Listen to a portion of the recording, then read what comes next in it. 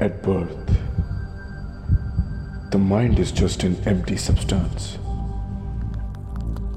with the power to think.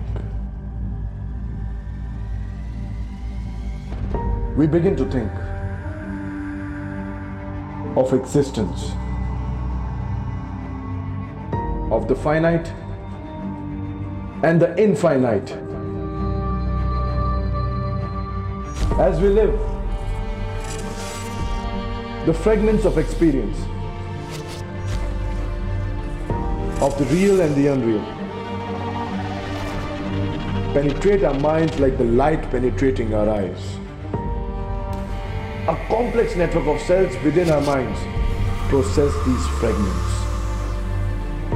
causing sensation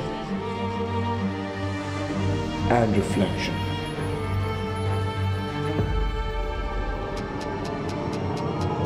Summoning the power of our beautiful minds to create ideas. An idea, once created, explodes like a supernova, altering our perception.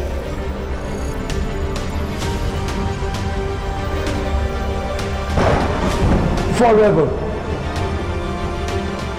We can never think the same again. Think as if the very idea never existed. This is the power of an idea. So powerful, so eternal, like the universe itself.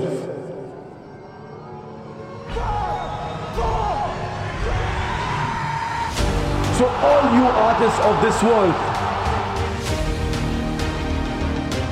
the creators of this world, hear this. There is nothing called a perfect idea.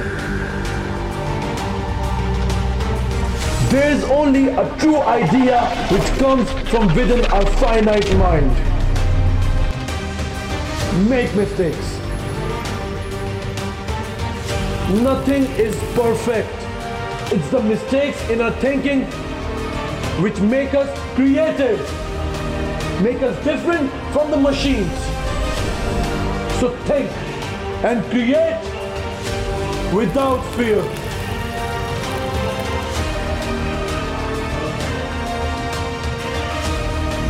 Because creation is the only hope for existence.